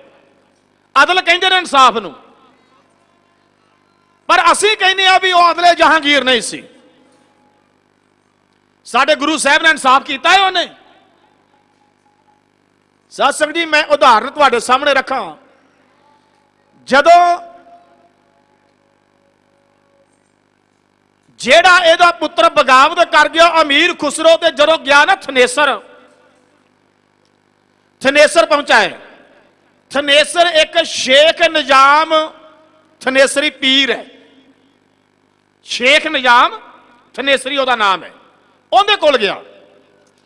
ਉਹਨੂੰ ਜਾ ਕੇ ਆਖਣ ਲੱਗਾ ਵੀ ਮੈਂ ਕੀਤੀ ਆ ਬਗਾਵਤ ਤੇ ਮੇਰੇ ਅੱਬਾ ਜਾਨ ਮੈਨੂੰ ਗ੍ਰਿਫਤਾਰ ਕਰਨ ਵਾਸਤੇ ਮੇਰੇ ਮੰਗਰ ਆ ਰਹੇ ਨੇ। ਤੇ ਤੂੰ ਮੇਰੀ ਕੋਈ ਮਦਦ ਕਰ। ਮੇਰੇ ਹੱਕ ਵਿੱਚ ਦੁਆ ਕਰ। ਉਹਨੇ ਇਹਦੇ ਹੱਕ ਵਿੱਚ ਦੁਆ ਕੀਤੀ, ਆਖਿਆ ਅੱਲਾ ਪਾਕ ਕਿਰਪਾ ਕਰੇ ਤੈਨੂੰ ਤੇਰੇ ਕੰਮ ਵਿੱਚ ਸਫਲਤਾ ਮਿਲ ਜਾਏ। ਦੁਆ ਕਰਤੀ। ਹੁਣ ਜਦੋਂ ਜਹਾਂਗੀਰ ਇੱਥੇ ਆਇਆ, ਇਹ ਤੇ ਅੱਗੇ ਚਲਾ ਗਿਆ ਜਿਹੜਾ ਇਹਦਾ ਪੁੱਤਰ ਸੀ, ਅਮੀਰ ਖੁਸਰੋ। ਜਦੋਂ ਜਹਾਂਗੀਰ ਇੱਥੇ ਆਇਆ ਤੇ ਉੱਥੇ ਵੀ ਚੁਗਲਖੋਰ ਬੰਦੇ ਇਕੱਠੇ ਹੋਏ, ਉਹਨਾਂ ਨੇ ਆਖਿਆ, ਐ ਬਾਦਸ਼ਾਹ, ਤੁਸੀਂ ਦਿੱਲੀ ਤੋਂ ਰਵਾਨਾ ਹੋਏ ਜੇ ਤੇ ਕਹਿੰਦੇ ਜਿਨ੍ਹਾਂ ਜਿਨ੍ਹਾਂ ਨੇ ਅਮੀਰ ਖੁਸਰੋ ਦੀ ਮਤ ਕੀਤੀ ਹੈ ਉਹਨਾਂ ਨੂੰ ਤੁਸਾਂ ਨੇ ਬੜੀ ਸਜ਼ਾ ਦਿੱਤੀ। ਬੜੀ ਸਜ਼ਾ ਦਿੱਤੀ। ਤੇ ਆਖਣ ਲੱਗੇ, ਇਹ ਜਿਹੜਾ ਪੀਰ ਹੈ, ਸ਼ੇਖ ਨਿਜ਼ਾਮ ਥਨੇਸਰੀ, ਕਹਿੰਦਾ ਇਹਨੇ ਵੀ ਮਦਦ ਕੀਤੀ ਹੈ। ਉਹ ਕਹਿੰਦਾ, ਕੋਈ ਗੱਲ ਨਹੀਂ, ਜੇ ਇਹ ਸਾਡੇ ਧਰਮ ਦਾ ਪੀਰ ਹੈ, ਮੁਸਲਮਾਨੀ ਪੀਰ ਹੈ ਜਿਹਨੇ ਦੁਆ ਕੀਤੀ ਤੇ ਕੋਈ ਗੱਲ ਨਹੀਂ। ਕੋਲੋਂ ਪੈਸੇ ਦਿੱਤੇ ਉਹਨੇ। ਰਾਹ ਖਰਚ ਦਿੱਤਾ। ਰਾਹ ਖਰਚ ਦੇ ਕੇ ਤੇ ਤੋਰਤਾ ਕਹਿੰਦਾ, ਜਾਓ ਪੀਰ ਜੀ, ਤੁਸੀਂ ਮੱਕੇ ਦਾ ਹੱਜ ਕਰ ਆਓ। ਕਹਿੰਦਾ, ਪੀਰ ਜੀ, ਤੁਸੀਂ ਮੱਕੇ ਦਾ ਹੱਜ ਕਰ ਆਓ ਮੱਕੇ ਦਾ ਹੱਜ ਕਰਨ ਵਾਸਤੇ ਤੋਰ ਦਿੱਤਾ ਤੇ ਗੁਰੂ ਸਾਹਿਬ ਜੀ ਦੇ ਚੱਲਦੇ ਲੰਗਰ ਦੇ ਵਿੱਚੋਂ ਇਹਨੇ ਸਾਧ ਸੰਗਤ ਜੀ ਪ੍ਰਸ਼ਾਦਾ ਛਕਿਆ। ਕਿੰਨੇ? ਅਮੀਰ ਖੁਸਰੋ ਨੇ ਪ੍ਰਸ਼ਾਦਾ ਛਕਿਆ ਕੁਝ ਸਮਾਂ ਆਰਾਮ ਕੀਤਾ, ਅੱਗੇ ਚਲਾ ਗਿਆ ਤੇ ਜਦੋਂ ਗੁਰੂ ਘਰ ਦੇ ਵਿਰੋਧੀਆਂ ਨੇ ਜਾ ਕੇ ਇਹ ਗੱਲ ਆਖੀ, ਬਈ ਗੁਰੂ ਸਾਹਿਬ ਨੇ ਇਹਨਾਂ ਲਈ ਉਚੇਚੇ ਤੌਰ ਤੇ ਮਦਦ ਕੀਤੀ ਹੈ, ਜਹਾਂਗੀਰ ਨੇ ਉਸੇ ਵੇਲੇ ਹੁਕਮ ਜਾਰੀ ਕਰਤਾ, ਕਹਿੰਦਾ ਗੁਰੂ ਸਾਹਿਬ ਨੂੰ ਗ੍ਰਿਫਤਾਰ ਕਰ ਲਓ। ਇਨਸਾਫ ਹੈ ਇਹ। ਜਰਾ ਸੋਚ ਕੇ ਵੇਖਿਓ, ਆਪਣੇ ਧਰਮ ਦੇ ਪੀਰ ਨੂੰ ਤੇ ਉਹ ਕੋਲੋਂ ਰਾਹ ਖਰਚ ਦਿੰਦਾ। ਵੀ ਜਿਨੇ ਦੁਆ ਕੀਤੀ ਉਹਨੂੰ ਰਾਹ ਖਰਚ ਦਿੱਤਾ। ਜਾ ਤੂੰ ਜਾ ਕੇ ਮੱਕੇ ਦਾ ਹੱਜ ਕਰਿਆ ਤੇ ਸਾਧ ਸੰਗਤ ਜੀ ਗੁਰੂ ਸਾਹਿਬ ਨੇ ਨਾ ਇਹਦੇ ਕੋਈ ਉਚੇਚੀ ਮਦਦ ਕੀਤੀ, ਨਾ ਇਹਨੂੰ 5000 ਰੁਪਈਆ ਦਿੱਤਾ। ਗੁਰੂ ਕਾ ਲੰਗਰ ਚੱਲ ਰਿਹਾ ਸੀ, ਇਹ ਆਏ ਲੰਗਰ ਛਕਿਆ ਤੇ ਅਗਾ ਚਲੇ ਗਏ। ਤੇ ਗੁਰੂ ਸਾਹਿਬ ਦੇ ਵਿਰੁੱਧ ਜਦੋਂ ਜਾ ਕੇ ਚੁਗਲੀਆਂ ਹੋਈਆਂ, ਤੇ ਕਹਿੰਦੇ ਨੇ ਜਿਹੜੇ ਇਹ ਜਹਾਂਗੀਰ ਸੀ, ਇਹਨੇ ਉਸੇ ਵੇਲੇ ਹੀ ਹੁਕਮ ਜਾਰੀ ਕਰਤਾ। ਗੁਰੂ ਸਾਹਿਬ ਨੂੰ ਗ੍ਰਿਫਤਾਰ ਕਰਕੇ ਮੇਰੇ ਪੇਸ਼ ਕਰੋ। ਇਨਸਾਫ ਹੈਗਾ ਹੈ? ਸਾਧ ਸੰਗਤ ਜੀ ਇਹ ਤੇ ਹੋ ਗਈ ਦੂਜੇ ਮਜ਼ਹਬ ਦੀ ਗੱਲ ਵੀ ਹਿੰਦੂ ਧਰਮ ਨੂੰ ਉਹ ਦਬਾਉਣਾ ਚਾਹੁੰਦਾ ਹੈ। ਉਹਨੇ ਤੇ ਆਪਣਿਆਂ ਨਾਲ ਨਹੀਂ ਕਿਤੇ ਚੰਗਾ ਰਸੂ ਕੀਤਾ। ਹੁਣ ਮੈਂ ਤੁਹਾਡੇ ਸਾਹਮਣੇ ਇੱਕ ਹੋਰ ਉਦਾਹਰਨ ਰੱਖਣੀ ਚਾਹੁੰਦਾ। ਜਦੋਂ ਅਮੀਰ ਖੁਸਰੋ ਨੂੰ ਪਕੜ ਕੇ ਲਿਆਂਦਾ ਗਿਆ ਚਨਾਹ ਦੇ ਕੰਧੇ ਤੋਂ 700 ਬੰਦਾ ਉਹਦੇ ਨਾਲ ਹੈ। ਅਮੀਰ ਖੁਸਰੋ ਨੇ ਮਾਫੀ ਮੰਗੀ 700 ਬੰਦੇ ਨੇ ਵੀ ਮਾਫੀ ਮੰਗੀ ਹੈ। ਮਾਫੀ ਜਹਾਂਗੀਰ ਤੋਂ 700 ਬੰਦੇ ਨੇ ਵੀ ਮੰਗੀ। ਪਰ ਮਾਫ ਕੀਤਾ ਗਿਆ ਕੱਲੇ ਅਮੀਰ ਖੁਸਰੋ ਨੂੰ, ਆਪਣੇ ਪੁੱਤਰ ਨੂੰ। 700 ਬੰਦਾ ਉਹਨੇ ਕਹਿੰਦੇ ਕਿਸੇ ਖੋਤੇ ਦੀ ਖਲ ਵਿੱਚ ਮੜ ਕੇ, ਗਊ ਦੀ ਖਲ ਵਿੱਚ ਮੜ ਕੇ, ਕਿਸੇ ਦੀਆਂ ਅੱਖਾਂ ਕੱਢ ਕੇ, ਕਿਸੇ ਦੇ ਦੋਵੇਂ ਹੱਥ ਵੱਢ ਕੇ, ਕਿਸੇ ਦੇ ਪੈਰ ਵੱਢ ਕੇ, ਕਿਸੇ ਨੂੰ ਕਿਸੇ ਤਰੀਕੇ ਨਾਲ ਤੇ ਕਿਸੇ ਨੂੰ ਕਿਸੇ ਤਰੀਕੇ ਨਾਲ ਕਤਲ ਕੀਤਾ ਹੈ। ਇਹ ਇਨਸਾਫ ਹੈ। ਲਿਖਣ ਵਾਲੇ ਨੇ ਲਿਖਿਆ, ਅਦਲੇ ਜਹਾਂਗੀਰ, ਇਨਸਾਫ ਪਸੰਦ ਬੰਦਾ ਸੀ। ਪਰ ਗੌਰ ਕਰਿਓ, ਸਾਡੇ ਨਾਲ ਉਹਨੇ ਕੋਈ ਇਨਸਾਫ ਨਹੀਂ ਕੀਤਾ, ਗੁਰੂ ਸਾਹਿਬ ਦੇ ਨਾਲ ਕੋਈ ਇਨਸਾਫ ਨਹੀਂ ਕੀਤਾ। ਉਹਨੇ ਇਹ 700 ਬੰਦਾ ਜਿਹੜਾ ਬਗਾਵਤ ਕਰ ਗਿਆ ਸੀ, ਉਹਨਾਂ ਨਾਲ ਕੋਈ ਇਨਸਾਫ ਨਹੀਂ ਕੀਤਾ। ਜਿਨੇ ਲਿਖਿਆ ਹੈ ਨਾ ਵੀ ਇਨਸਾਫ ਪਸੰਦ ਬੰਦਾ ਹੈ, ਅਦਲੇ ਜਹਾਂਗੀਰ ਉਹਨੇ ਬਿਨਾਂ ਸੋਚਣ ਸਮਝੋ ਲਿਖ ਦਿੱਤਾ ਹੈ। ਇਨਸਾਫ ਤੇ ਤਾਂ ਸੀ, ਜਿੱਥੇ ਉਹ ਪੀਰ ਨੂੰ ਮੱਕੇ ਭੇਜਦਾ ਏ ਉਥੇ ਗੁਰੂ ਸਾਹਿਬ ਨੂੰ ਹੀ ਮਾਫ ਕਰ ਦਿੰਦਾ। ਇਨਸਾਫ ਤੇ ਤਾਂ ਸੀ ਜੇ ਆਪਣੇ ਪੁੱਤਰ ਨੂੰ ਮਾਫੀ ਦੇ ਰਿਹਾ ਹੈ, ਤੇ ਜਿੰਨਾ 700 ਬੰਦਿਆਂ ਨੇ ਉਹਦੇ ਨਾਲ ਬਗਾਵਤ ਕੀਤੀ ਹੈ, ਉਹਨਾਂ ਨੂੰ ਵੀ ਮਾਫ ਕਰ ਦਿੰਦਾ। ਇਹ ਕੋਈ ਇਨਸਾਫ ਨਹੀਂ। ਇਹ ਤੇ ਉਹ ਮਜਬੀ ਤਵੱਸੇ ਵਿੱਚ ਰੰਗਿਆ ਸੀ, ਕਿਸੇ ਨਾ ਕਿਸੇ ਤਰੀਕੇ ਨਾਲ ਗੁਰੂ ਸਾਹਿਬ ਜੀ ਨੂੰ ਗ੍ਰਿਫਤਾਰ ਕਰਨਾ ਚਾਹੁੰਦਾ ਸੀ ਉਹ। ਇਹ ਜਦੋਂ ਸਤਿਗੁਰੂ ਜੀ ਨੂੰ ਗ੍ਰਿਫਤਾਰ ਕਰਨ ਦਾ ਹੁਕਮ ਹੋ ਗਿਆ, ਸਾਹਿਬ ਸਤਿਗੁਰੂ ਜੀ ਗ੍ਰਿਫਤਾਰ ਹੋਏ ਨੇ, ਕਹਿੰਦੇ ਇਹਦੇ ਕੋਲ ਪਹੁੰਚੇ। ਜਦੋਂ ਇਹਦੇ ਕੋਲ ਗਏ, ਜਹਾਂਗੀਰ ਬੜਾ ਤਪਿਆ ਸੀ, ਬੜਾ ਉਹ ਗੁੱਸੇ ਵਿੱਚ ਸੀ। ਉਹਨੇ ਆਖਿਆ, ਪੀਰ ਜੀ ਮੈਂ ਤੁਹਾਡੀਆਂ ਸਾਰੀਆਂ ਗੱਲਾਂ ਸੁਣ ਲਈਆਂ ਨੇ। ਤੇ ਪੰਚਮ ਪਾਤਸ਼ਾਹ ਜੀ ਸ਼ਾਂਤੀ ਦੇ ਪਹੁੰਚ ਐਨ ਸ਼ਾਂਤ ਖਲੋਤੇ ਆਖਣ ਲੱਗੇ, ਜਹਾਂਗੀਰ, ਜੋ ਕੁਝ ਤੇਰੀਆਂ ਕੰਨਾਂ ਤੱਕ ਪਹੁੰਚਾਇਆ ਗਿਆ ਹੈ, ਉਹ ਬਹੁਤਾ ਝੂਠ ਹੈ। ਸਚਾਈ ਨਹੀਂ ਉਹਦੇ ਵਿੱਚ ਹੈਗੀ। ਕਹਿਣ ਲੱਗਾ, ਮੈਂ ਤੁਹਾਡੀ ਗੱਲ ਨਹੀਂ ਕੋਈ ਸੁਣਨੀ ਚਾਹੁੰਦਾ। ਮੇਰਾ ਹੁਕਮ ਹੈ, ਦੀਨ ਕਬੂਲ ਕਰ ਲਓ। ਜਿਹੜਾ ਤੁਸੀਂ 5000 ਰੁਪਈਆ ਦਿੱਤਾ ਮੇਰੇ ਪੁੱਤਰ ਅਮੀਰ ਖੁਸਰੋ ਨੂੰ, ਜਿਹੜੇ ਤੁਸੀਂ ਉਹਦੀ ਮਦਦ ਕੀਤੀ ਉਹਨੂੰ ਪ੍ਰਸ਼ਾਦਾ ਛਕਾਇਆ, ਪਸ਼ੀਨ ਗੋਈ ਉਹਦੇ ਹੱਕ ਵਿੱਚ ਕੀਤੀ, ਉਹਦੇ ਬਦਲੇ ਤੁਹਾਨੂੰ ਸਵਾ ਲੱਖ ਰੁਪਈਆ ਜੁਰਮਾਨਾ ਕੀਤਾ ਜਾ ਰਿਹਾ, ਉਹ ਦੇ ਦਿਓ। ਕਹਿਣ ਲੱਗੇ, ਤੀਜੀ ਗੱਲ, ਜਿਹੜਾ ਤੁਸਾਂ ਨੇ ਗ੍ਰੰਥ ਲਿਖਿਆ ਹੈ, ਉਸ ਗ੍ਰੰਥ ਦੇ ਵਿੱਚ ਹਜ਼ਰਤ ਮੁਹੰਮਦ ਸਾਹਿਬ ਦੀ ਉਸਤਤ ਲਿਖ ਦਿਓ। ਚੌਥੀ ਗੱਲ, ਜਿਹੜਾ ਇਹ ਮੇਰਾ ਦੀਵਾਨ ਚੰਦੂ ਹੈ, ਉਹਦੀ ਲੜਕੀ ਦਾ ਰਿਸ਼ਤਾ ਤੁਸਾਂ ਨੇ ਨਾਮਨਜ਼ੂਰ ਕੀਤਾ ਹੈ ਆਪਣੇ ਪੁੱਤਰ ਵਾਸਤੇ, ਉਹ ਰਿਸ਼ਤਾ ਪ੍ਰਵਾਨ ਕਰ ਲਓ। ਤੇ ਜੇ ਸਾਰੀਆਂ ਗੱਲਾਂ ਨਹੀਂ ਮੰਨਦੇ ਤੇ ਤੁਸੀਂ ਮੌਤ ਦਾ ਜਾਇਕਾ ਚੱਖਣ ਵਾਸਤੇ ਤਿਆਰ ਹੋ ਜਾਓ। ਜਹਾਂਗੀਰ ਬਾਦਸ਼ਾਹ ਨੇ ਸਾਹਿਬ ਸ੍ਰੀ ਗੁਰੂ ਅਰਜਨ ਦੇਵ ਮਹਾਰਾਜ ਦੇ ਸਾਹਮਣੇ ਖਲੋ ਕੇ ਜਿਹੜੀਆਂ ਗੱਲਾਂ ਕੀਤੀਆਂ ਉਸ ਵੇਲੇ ਦੀਆਂ ਲੈਣਾ ਨੂੰ ਢਾਡੀ ਜਥਾ ਇਹ ਪੇਸ਼ ਕਰਨ ਲੱਗਾ।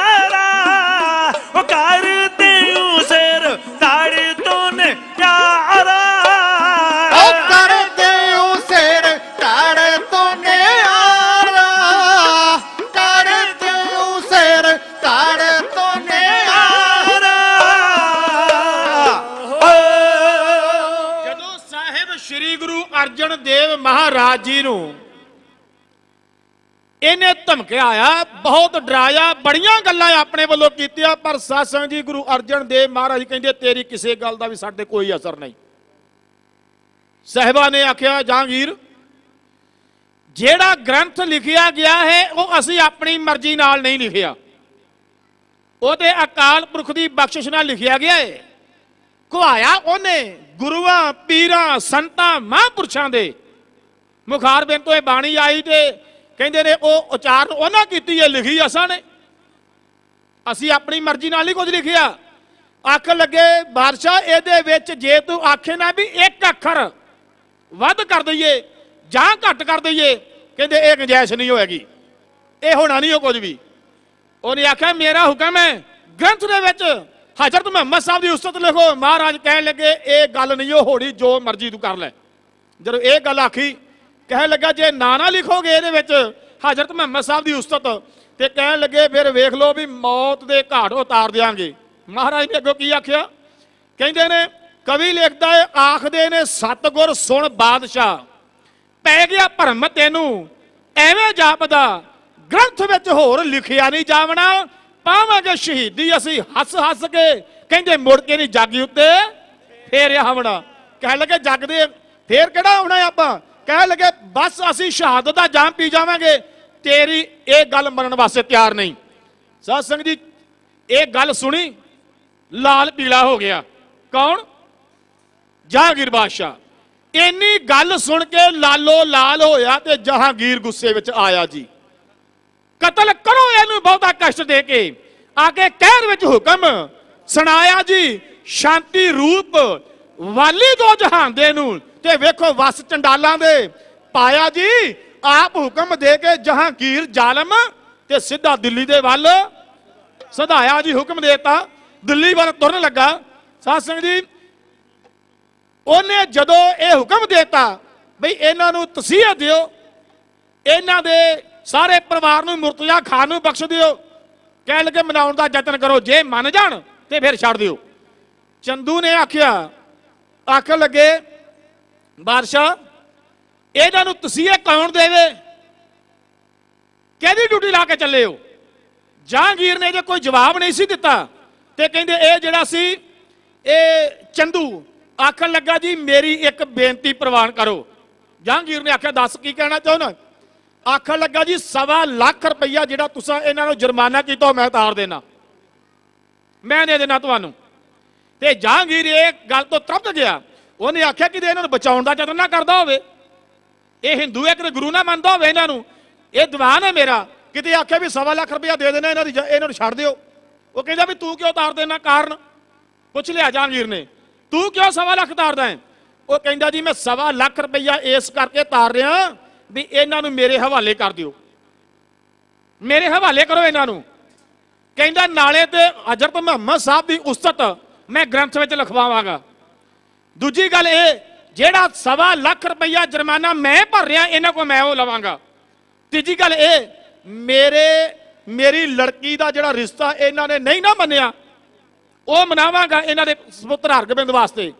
ਤੇ ਕਹਿਣ ਲੱਗੇ, ਜੇ ਨਾ ਇਹ ਮੰਨਣਗੇ, ਤੇ ਫਿਰ ਇਹਨਾਂ ਨੂੰ ਮੈਂ ਦੀਨ ਕਬੂਲ ਕਰਾਉਣ ਦਾ ਯਤਨ ਕਰਾਂਗਾ। ਜੇ ਨਾ ਮੰਨਣਗੇ, ਤੇ ਫਿਰ ਕਹਿੰਦੇ ਇਹਨਾਂ ਨੂੰ ਮੌਤ ਦੇ ਘਾਟ ਉਤਾਰ ਦਿਆਂਗਾ। ਜਹਾਂਗੀਰ ਇਹ ਗੱਲ ਸੁਣਦਿਆਂ ਸਾਰ ਖੁਸ਼ ਹੋ ਗਿਆ। ਉਹਨੇ ਆਖਿਆ ਇਹ ਤੇ ਬੜੀ ਵਧੀਆ ਗੱਲ ਹੈ ਵੀ ਇੱਕ ਹਿੰਦੂ ਹੀ ਦੂਜੇ ਹਿੰਦੂ ਤੇ ਤਸ਼ੱਦਦ ਕਰੇ। ਉਹ ਕਹਿੰਦਾ ਵੀ ਇੱਥੇ ਇੱਕ ਤੀਰ ਨਾਲ ਦੋ ਨਿਸ਼ਾਨਿਆਂ ਵਾਲੀ ਗੱਲ ਬਣ ਗਈ। ਗੱਲ ਇਹ ਬਣੀ ਆਖਣ ਲੱਗਾ ਨਾਲੇ ਦੇ ਸਵਾ ਲੱਖ ਰੁਪਈਆ ਜੁਰਮਾਨਾ ਕੀਤਾ ਹੀ ਹੈ ਨਾ ਆਪਾਂ ਗੁਰੂ ਸਾਹਿਬ ਨੂੰ। ਦਿੱਤਾ ਤਾਂ ਨਹੀਂ ਨਾ ਉਹਨਾਂ ਨੇ ਸਾਨੂੰ। ਕਹਿਣ ਲੱਗਾ ਉਹ ਸਵਾ ਲੱਖ ਰੁਪਈਆ ਜੁਰਮਾਨਾ ਜਿਹੜਾ ਆਪਾਂ ਇਹਨਾਂ ਨੂੰ ਕਹਿਤਾ ਤੁਹਾਨੂੰ ਕਰਤਾ। ਕਹਿਣ ਲੱਗੇ, ਉਹ ਮੇਰੇ ਖਜ਼ਾਨੇ ਵਿੱਚ ਬਿਨਾਂ ਕਿਸੇ ਕਾਰਨ ਹੀ ਆ ਜਾਣਾ। ਚੰਦੂ ਨੇ ਦੇ ਦੇਣਾ ਮੈਨੂੰ ਉਹ। ਤੇ ਕਹਿਣ ਲੱਗਾ ਫਿਰ, ਦੂਜੀ ਗੱਲ ਇਹ ਚੰਦੂ ਵੀ ਹਿੰਦੂ ਹੈ ਤੇ ਗੁਰੂ ਸਾਹਿਬ ਵੀ ਹਿੰਦੂ ਨੇ ਕਹਿਣ ਲੱਗੇ, ਇਹ ਇੱਕ ਦੂਜੇ ਤੇ ਤਸ਼ੱਦਦ ਕਰਨ। ਜਿਵੇਂ ਮੰਨ ਲਓ ਵੀ ਚੰਦੂ ਕਹਿੰਦਾ, ਮੈਂ ਇਹਨਾਂ ਨੂੰ ਮਨਾਵਾਂਗਾ। ਜੇ ਇਹ ਨਹੀਂ ਮੰਨਦੇ ਤੇ ਕਹਿਣ ਲੱਗਾ ਵੀ ਫਿਰ ਇਹਨਾਂ ਤੇ ਸਖਤਾਈ ਕਰੇਗਾ, ਇਹਨਾਂ ਨੂੰ ਦੰਡ ਦੇਵੇਗਾ, ਇਹਨਾਂ ਦੇ ਉੱਤੇ ਤਸ਼ੱਦਦ ਕਰੇਗਾ। ਕਹਿਣ ਲੱਗੇ, ਜੇ ਇੱਕ ਹਿੰਦੂ ਹੀ ਦੂਜੇ ਹਿੰਦੂ ਦੇ ਤਸ਼ੱਦਦ ਕਰੇ ਤੇ ਮੁਗਲਾਂ ਵਾਸਤੇ ਰਾਹ ਬਿਲਕੁਲ ਸਾਫ਼ ਹੈ। ਉਹਨੇ ਕਿਹਾ ਇਹਨਾਂ ਨੂੰ ਆਗਿਆ ਦੇ ਦੇਣੀ ਚਾਹੀਦੀ ਹੈ। ਉਹਨੇ ਕਿਹਾ ਵੀ ਠੀਕ ਹੈ, ਲਿਆ ਸਵਾ ਲੱਖ ਰੁਪਈਆ। ਤੇ ਤੇਰੇ ਸਬੁਰਦ ਕਰਦੇ ਨੇ ਅਸੀਂ ਸਾਹਿਬਾਂ ਨੂੰ? ਉਹ ਇਸ ਹੀ ਹੋਇਆ। ਸਹਿਬਾਨ ਨੂੰ ਆਪਣੇ ਕਬਜ਼ੇ ਵਿੱਚ ਲੈਣ ਵਾਸਤੇ ਇਹਨੇ ਸਾਧ ਸੰਗਤ ਜੀ ਸਵਾ ਲੱਖ ਰੁਪਈਆ ਚੰਦੂ ਨੇ ਤਾਰ ਦਿੱਤਾ ਤੇ ਆਪਣੀ ਹਿਰਾਸਤ ਵਿੱਚ ਸਾਹਿਬ ਸ੍ਰੀ ਗੁਰੂ ਅਰਜਨ ਦੇਵ ਮਾਰੇ ਲੈ ਲਿਆ। ਹੁਣ ਮਨਾਵੇ, ਪਹਿਲੀ ਗੱਲ ਇਹਨੇ ਰੱਖੀ। ਕਹਿੰਦੇ, ਅਰਜਨ ਦੇਵ, ਹੁਣ ਤੁਸੀਂ ਮੇਰੇ ਸਬੁਰਦ ਜੇ ਤੇ ਮੇਰੇ ਰਹਿਮੋ ਕਰਮ ਤੇ ਹੀ ਤੁਸੀਂ ਬਚ ਸਕਦੇ ਹੋ। ਡਰਾਵਾ ਦਿੱਤਾ ਇਹਨੇ। ਆਖਣ ਲੱਗਾ, ਜੇ ਮੈਂ ਚਾਹਾਂ ਤਾਂ ਤੁਹਾਨੂੰ ਹੁਣੇ ਹੀ ਮਾਰ ਸਕਦਾ। ਜੇ ਚਾਹਾਂ ਤੁਹਾਨੂੰ ਬਚਾ ਸਕਦਾ। ਕਹਿਣ ਲੱਗਾ, ਬਚਣ ਦਾ ਤਰੀਕਾ ਇੱਕੋ ਹੀ ਇੱਕ ਹੈ, ਵੀ ਹਜ਼ਰਤ ਮੁਹੰਮਦ ਸਾਹਿਬ ਦੀ ਉਸਤ ਲਿਖ ਦਿਓ ਗ੍ਰੰਥ ਵਿੱਚ। ਦੂਜੀ ਗੱਲ ਇਹ, ਸਵਾ ਲੱਖ ਰੁਪਈਆ ਦੇ ਦਿਓ, ਜਿਹੜਾ ਮੈਂ ਜਹਾਂਗੀਰ ਨੂੰ ਦਿੱਤਾ ਹੈ। ਤੀਜੀ ਗੱਲ ਇਹ, ਮੇਰੀ ਲੜਕੀ ਦਾ ਰਿਸ਼ਤਾ ਆਪਣੇ ਸੁਪੁੱਤਰ ਹਰਗੋਬਿੰਦ ਵਾਸਤੇ ਪ੍ਰਵਾਨ ਕਰ ਲਓ। ਚੌਥੀ ਗੱਲ ਇਹ, ਵੀ ਤੁਸੀਂ ਜੇ ਨਹੀਂ, ਇਹ ਸਾਰਾ ਕੁਝ ਕਰਨਾ ਤੇ ਆਪਣਾ ਧਰਮ ਛੱਡ ਕੇ ਦੂਜੇ ਧਰਮ ਵਿੱਚ ਆ ਜਾਓ। ਸਾਥ ਦੀ ਇੱਥੇ ਗੱਲ ਜਿਹੜੀ ਹੈ, ਗੱਲ ਵੇਖੋ, ਹਿੰਦੂ ਹੀ ਗੁਰੂ ਸਾਹਿਬ ਨੂੰ ਕਹਿੰਦਾ ਹੈ। ਹਿੰਦੂ ਹੀ ਗੁਰੂ ਸਾਹਿਬ ਨੂੰ ਕਹਿ ਰਿਹਾ ਹੈ, ਚੰਦੂ ਵੀ ਹਿੰਦੂ ਹੈ। ਗੁਰੂ ਸਾਹਿਬ ਨੂੰ ਕਹਿੰਦਾ ਹੈ, ਤੁਸੀਂ ਆਪਣਾ ਧਰਮ ਛੱਡੋ, ਮੁਸਲਮਾਨ ਹੋ ਜਾਓ। ਗੱਲ ਵੇਖ ਲਓ ਕਿੱਧਰ ਤੁਰੀ ਜਾਂਦੀ ਹੈ। ਦੂਜੇ ਧਰਮ ਦਾ ਬੰਦਾ ਮੰਨ ਲਓ ਮੁਸਲਮਾਨ ਤੇ ਕੋਈ ਆਖੇ ਵੀ ਤੁਸੀਂ ਆਪਣਾ ਧਰਮ ਛੱਡੋ, ਮੁਸਲਮਾਨੀ ਮਤ ਵਿੱਚ ਆ ਜਾਓ। ਫੇਰ ਤਾਂ ਕੋਈ ਗੱਲ ਬਣਦੀ ਹੈ ਵੀ ਉਹ ਦੂ- ਗੈਰ ਧਰਮ ਦਾ, ਗੈਰ ਮਜਹਬ ਦਾ ਬੰਦਾ ਹੈ, ਉਹ ਗੱਲ ਕਹਿੰਦਾ ਹੈ। ਪਰ ਜੇ ਇੱਕ ਧਰਮ ਦੇ ਬੰਦੇ ਹੀ ਦੂਜੇ ਨੂੰ ਆਖਣ ਤੂੰ ਆਪਣਾ ਧਰਮ ਛੱਡ ਕੇ ਉਧਰ ਚਲਾ ਜਾ ਗੱਲ ਬਣਦੀ ਕੋਈ ਨਹੀਂ। ਪਰ ਚੰਦੂ ਨੇ ਯਤਨ ਕੀਤਾ, ਕਹਿਣ ਲੱਗਾ, ਤੁਸੀਂ ਆਪਣਾ ਧਰਮ ਤਿਆਗ ਕੇ ਦੂਜੇ ਧਰਮ ਵਿੱਚ ਚਲੇ ਜਾਓ ਜੇ ਨਹੀਂ ਤੁਸੀਂ। ਇਹ ਇਹ ਸਾਰੀਆਂ ਗੱਲਾਂ ਮੰਨਦੇ। ਸਾਹਿਬ ਸ੍ਰੀ ਗੁਰੂ ਅਰਜਨ ਦੇਵ ਮਹਾਰਾਜ ਕਹਿੰਦੇ ਨੇ, ਆਖਣ ਲੱਗੇ, ਚੰਦੂ, ਇਹ ਕੁਝ ਨਹੀਂ ਓ ਹੋਣਾ। ਅਸੀਂ ਨਾ ਤੇ ਦੀਨ ਕਬੂਲਣਾ ਹੀ ਨਾ ਅਸਾਂ ਨੇ ਮਾਇਆ ਦੇਣੀ ਹੋ ਨਾ ਤੇਰੀ ਲੜਕੀ ਦਾ ਰਿਸ਼ਤਾ ਪ੍ਰਵਾਨ ਕਰਨਾ ਹੈ ਤੇ ਕਹਿਣ ਲੱਗੇ, ਨਾ ਹੀ ਅਸੀਂ ਜਿਹੜੀ ਗੱਲ ਤੂੰ ਆਖੇਗਾ ਮੰਨਣ ਵਾਸਤੇ ਤਿਆਰ ਆ। ਆਖਰੀ ਗੱਲ ਜਿਹੜੀ ਤੂੰ ਕਹਿਣਾ। ਕਹਿੰਦਾ, ਮੈਂ ਆਖਰੀ ਗੱਲ ਤੇ ਮੌਤ ਵਾਲੀ ਆਖੀ ਏ। ਸਾਹਿਬ ਸ੍ਰੀ ਗੁਰੂ ਅਰਜਨ ਦੇਵ ਮਹਾਰਾਜ ਕਹਿੰਦੇ ਮੌਤ ਸਾਨੂੰ ਪ੍ਰਵਾਨ ਹੈ। ਹੁਣ ਚੰਦੂ ਨੇ ਫਿਰ ਕਸ਼ਟ ਦੇਣੇ ਸ਼ੁਰੂ ਕੀਤੇ ਨੇ। ਸਾਧ ਸੰਗਤ ਜੀ, ਦੇਖ ਚ ਬਾਲਿਆ ਤੱਤੀ ਤਵੀ ਤੇ ਬਿਠਾ ਲਿਆ ਗਿਆ। ਤੇ ਕਹਿੰਦੇ, ਜਦੋਂ ਸਤਿਗੁਰੂ ਜੀ ਤੱਤੀ ਤਵੀ ਤੇ ਬੈਠੇ ਸਨ, ਮੀਆਂ ਮੀਰ ਜੀ ਆ ਗਏ। ਮੀਆਂ ਮੀਰ ਜੀ ਨੇ ਹੱਥ ਜੋੜ ਕੇ ਇਹ ਸਿਜਦਾ ਕੀਤਾ ਤੇ ਆਖਣ ਲੱਗੇ, ਪੀਰ ਜੀ, ਇੱਕ ਵਾਰ ਮੈਨੂੰ ਆਗਿਆ ਦੇ ਦਿਓ। ਆ ਜਹਾਂਗੀਰ, ਆ ਚੰਦੂ ਵਰਗੇ ਸਾਰੇ ਨੇਸਨਮੂਦ ਕਰ ਦਿਆਂਗਾ। ਮੇਰੇ 'ਚ ਪਾਵਰ ਹੈ ਤੇ ਸਾਹਿਬਾਂ ਨੇ ਆਖਿਆ, ਮੀਆਂ ਮੀਰ, ਤੂੰ ਸਾਡਾ ਮਿੱਤਰ ਹੈ। ਵਿਆਕਲ ਨਾ ਹੋ। ਕਿਸੇ ਗੱਲ ਦੀ ਕੋਈ ਚਿੰਤਾ ਨਾ ਕਰ। ਇਹ ਅਕਾਲ ਪੁਰਖ ਦਾ ਭਾਣਾ ਹੈ। ਸਾਹਿਬਾਂ ਨੇ ਜੋ ਕੁਝ ਆਖਿਆ ਕਿ ਕਵੀ ਲਿਖਦਾ ਹੈ, ਮੀਆਂ ਮੀਰ, ਵਿਆਕਲ ਨਾ ਹੋ ਮੇਰੇ ਮਿੱਤਰ। ਕਦੇ ਜਿਸਮ ਦੁੱਖਾਂ ਵਿੱਚ ਘਿਰ ਜਾਇਆ ਕਰਦਾ ਹੈ, ਜਿਹਦਾ ਪੈਰ ਥਿੜਕੇ ਮੁਸੀਬਤ ਦੇ ਵੇਲੇ ਉਹ ਸੋਹਣੇ ਦੀਆਂ ਨਜ਼ਰਾਂ ਚੋਂ ਗਿਰ ਜਾਇਆ ਕਰਦਾ ਹੈ। ਸਮਾਂ ਅਜਮੈਸ਼ ਦਾ ਹੁੰਦਾ ਹੈ ਥੋੜਾ ਆਉਂਦਾ ਹੈ ਚੱਕਰ ਪਰ ਫਿਰ ਜਾਇਆ ਕਰਦਾ ਹੈ। ਉਹਦੇ ਪਿਆਰ ਦੇ ਗੀਤ ਗਾਉਂਦੀ ਹੈ ਦੁਨੀਆ ਜੋ ਹੇਠ ਬੈਠ ਆਰੇ ਦੇ ਚਿਰ ਜਾਇਆ ਕਰਦਾ ਹੈ। ਇਹ ਅਕਾਲ ਪੁਰਖ ਦਾ ਭਾਣਾ ਹੈ ਤੇ ਅਸੀਂ ਅਕਾਲ ਪੁਰਖ ਦੇ ਭਾਣੇ ਦੇ ਵਿੱਚ ਬਿਲਕੁਲ ਰਾਜੀ ਹਾਂ। ਇਹਨਾਂ ਚਿਰ ਨੂੰ ਮੀਆਂ ਮੀਰ ਤੇ ਪਰਾਂ ਹੋ ਕੇ ਸ਼ਾਂਤ ਹੋ ਕੇ ਖਲੋ ਗਿਆ। ਆ ਗਿਆ ਚੰਦੂ। ਚੰਦੂ ਨੇ ਆ ਕੇ ਆਖਿਆ ਤੁਸੀਂ ਅਜੇ ਵੀ ਨਹੀਂ ਮੰਨਦੇ? ਸਤਿਗੁਰੂ ਜੀ ਕਹਿਣ ਲੱਗੇ ਅਸੀਂ ਤੇਰੀ ਕੋਈ ਗੱਲ ਨਹੀਂ ਮੰਨਣੀ। ਚੰਦੂ ਲਾਲ ਨੇ ਸਾਹਿਬ ਸ੍ਰੀ ਗੁਰੂ ਅਰਜਨ ਦੇਵ ਮਹਾਰਾਜ ਜੀ ਨੂੰ ਜਿਵੇਂ ਡਰਾਉਣ ਵਾਸਤੇ, ਜਿਵੇਂ ਧਮਕਾਉਣ ਵਾਸਤੇ ਕੁਝ ਗੱਲਾਂ ਕੀਤੀਆਂ ਨੇ, ਉਸ ਵੇਡੀਆਂ ਲਾਈਨਾਂ ਨੂੰ ਢਾਡੀ ਜਿਹਦਾ ਪੇਸ਼ ਕਰਨ ਲੱਗਾ ਹੈ। ਇਹੀ ਕਵਿਤਾ ਕਹਿ ਕੇ ਸਮੇਂ ਦੀ ਸਮਾਪਤੀ ਹੋ ਜਾਣੀ ਹੈ। ਇਹਦੇ ਬਾਅਦ ਸਮੇਂ ਦੀ ਸਮਾਪਤੀ ਆਖਰੀ ਕਵਿਤਾ ਢਾਡੀ ਜਥੇ ਕੋ ਇਹ ਸ਼ਰਮ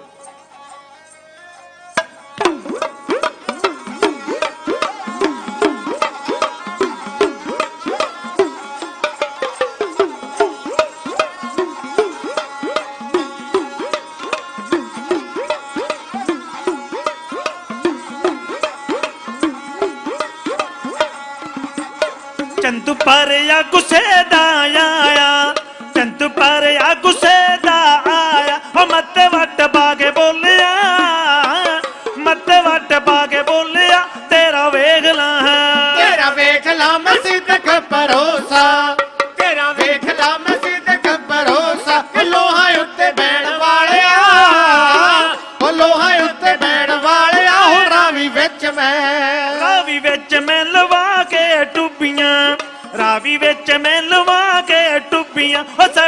ਕਟਾਰ ਲਵਾ ਸੜੀ ਹੈ ਕਟਾਰ ਲਵਾ ਵਿੱਚ ਖੱਲ ਦੇ।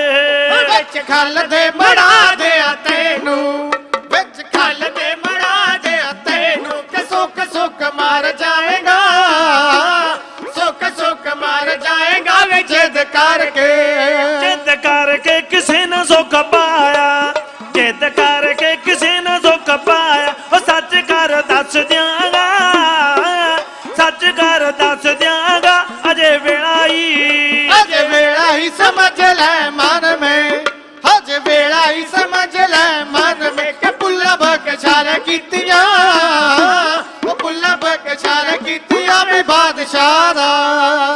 ਬਾਦਸ਼ਾਹ ਦਾ ਹੁਕਮ ਸਤਕਾਰ ਦੇ ਬਾਦਸ਼ਾਹ ਦਾ ਹੁਕਮ ਸਤਕਾਰ ਦੇ ਉਹ ਪੁੱਤਰ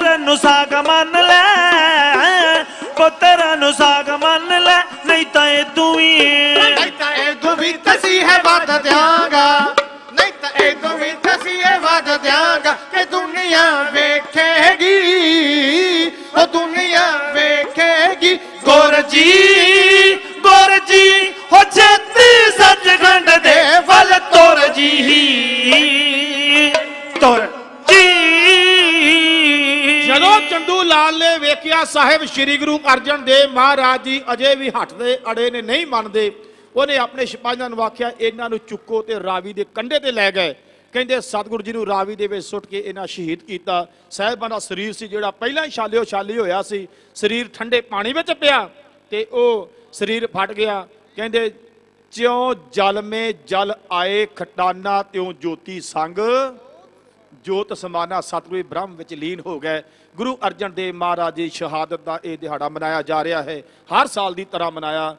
ਸਾਧ ਸੰਗਤ ਜੀ, ਬੜੀਆਂ ਸੰਗਤਾਂ ਜਿੱਥੇ ਜਿੱਥੇ ਵੀ ਗੁਰੂ ਨਾਨਕ ਨਾਮ ਲੈਵਾ ਸਿੱਖ ਸੰਗਤਾਂ ਰਹਿੰਦੀਆਂ ਨੇ, ਉੱਥੇ ਉੱਥੇ ਮਨਾਇਆ ਗਿਆ ਹੈ। ਦਿੱਲੀ ਵਿੱਚ ਬਹੁਤ ਸਾਰੀਆਂ ਥਾਵਾਂ ਤੇ ਮਨਾਇਆ ਗਿਆ। ਇੱਥੇ ਇਹ ਵੱਡਾ ਪੰਡਾਲ ਦਿੱਲੀ ਸਿੱਖ ਗੁਰਦੁਆਰਾ ਪ੍ਰਬੰਧਕ ਕਮੇਟੀ ਜੋ ਹਰ ਸਾਲ ਇਹ ਉਪਰਾਲਾ ਕਰਦੀ ਏ। ਇਹ ਬੜਾ ਸ਼ਲਾਘਾਯੋਗ ਉਪਰਾਲਾ ਹੈ। ਤਾਂ ਕਿ ਆਪਣੇ ਗੁਰੂਆਂ ਦੇ, ਆਪਣੇ ਯੋਧਿਆਂ ਦੇ, ਆਪਣੇ ਇਹ ਗੁਰੂਆਂ ਦੇ ਦਿਨ ਮਨਾਉਣੇ, ਇਹ ਜਿਉਂਦੀ ਜਾਗਦੀ ਮਿਸਾਲ, ਇਹ ਕੌਮ ਦੀ ਮਿਸਾਲ ਹੈ। ਸਾਧ ਸੰਗਤ ਜੀ, ਜਿਹੜੀਆਂ ਕੌਮਾਂ ਜਿਉਂਦੀਆਂ ਜਾਗਦੀਆਂ ਨੇ, ਉਹੀ ਇਹ ਕੁਝ ਕਰ ਸਕਦੀਆਂ ਨੇ। ਤੇ ਜਿਹੜੀਆਂ ਕੌਮਾਂ ਨੇਸਨਮੂਦ ਹੋ ਗਈਆਂ, ਉਹਨਾਂ ਆਪਣੇ ਗੁਰੂਆਂ ਦੀ ਗੱਲ ਕੀ ਕਰਨੀ ਹੈ ਉਹਨਾਂ ਆਪਣੇ ਪਿਛੋਕੜ ਦੀ ਗੱਲ ਕੀ ਕਰਨੀ ਹੈ ਜਿਨ੍ਹਾਂ ਨੂੰ ਇਹ ਸੈਂਸਾ ਪਿਆਰ ਰਹਿੰਦਾ ਵੀ ਸਾਡੇ ਇਹ ਆਉਣ ਵਾਲੀ ਜਨਰੇਸ਼ਨ ਦਾ ਕੀ ਬਣੇਗਾ? ਪਰ ਖਾਲਸਾ ਪੰਥ ਉੱਤੇ ਗੁਰੂ ਗੋਬਿੰਦ ਸਿੰਘ ਮਹਾਰਾਜ ਜੀ, ਗੁਰੂ ਨਾਨਕ ਦੇਵ ਮਹਾਰਾਜ ਜੀ, ਗੁਰੂ ਗ੍ਰੰਥ ਸਾਹਿਬ ਮਹਾਰਾਜ ਬੜੀ ਬਖਸ਼ਿਸ਼ ਹੈ। ਹਰੇਕ ਗੁਰਪੁਰਬ ਬੜੀ ਸ਼ਰਧਾ ਤੇ ਭਾਵਨਾ ਦੇ ਨਾਲ ਮਨਾਇਆ ਜਾਂਦਾ ਹੈ। ਦਾਸ ਨੇ ਤੁਛ ਬੁੱਧੀ ਅਨੁਸਾਰ ਇਹ ਆਪ ਜੀ ਦੇ ਸਾਹਮਣੇ ਇਤਿਹਾਸਕ ਵਿਚਾਰ ਰੱਖੇ ਨੇ। ਇਤਿਹਾਸਕ ਵਿਚਾਰਾਂ ਕਰਦਿਆਂ ਅਨੇਕ ਤਰ੍ਹਾਂ ਦੀਆਂ ਭੁੱਲਾਂ ਹੋ ਗਈਆਂ ਨੇ। ਅਣਜਾਣ ਸਮਝ ਕੇ ਮਾਫ ਕਰਿਓ ਜੀ। ਬਹੁਤ ਸਾਰੀਆਂ ਸੰਗਤਾਂ ਵੱਲੋਂ ਇਤਿਹਾਸ ਪੀੜ ਮਾਇਆ ਆਈ ਹੈ। ਸਭ ਦੇ ਨਾਲ ਸਤਿਗੁਰੂ ਆਪ ਜਾਣਦੇ ਨੇ। ਹੋਈਆਂ ਭੁੱਲਾਂ ਨਾਚ ਤਾਰਿਓ ਸਤਿਕਾਰਯੋਗ ਸਕੱਤਰ ਸਾਹਿਬ ਪਹੁੰਚ ਗਏ ਨੇ। ਉਹ ਆਪ ਜੀ ਨੂੰ ਅਗਲਾ ਪ੍ਰੋਗਰਾਮ ਦੱਸਣਗੇ। ਬੜੇ ਸਿਆਣੇ ਨੇ ਬੜੇ ਸੂਝਵਾਨ ਨੇ। ਉਹਨਾਂ ਦੇ ਕੋਲੋਂ ਅਗਲਾ ਪ੍ਰੋਗਰਾਮ ਸ਼ਰਵਣ ਕਰੋ। ਦਾਸ ਨੂੰ ਫਤਿਹ ਬੁਲਾਓ। ਆਖੋ ਜੀ ਵਾਹਿਗੁਰੂ ਜੀ ਕਾ ਖਾਲਸਾ। ਵਾਹਿਗੁਰੂ ਜੀ ਕੀ ਫਤਿਹ।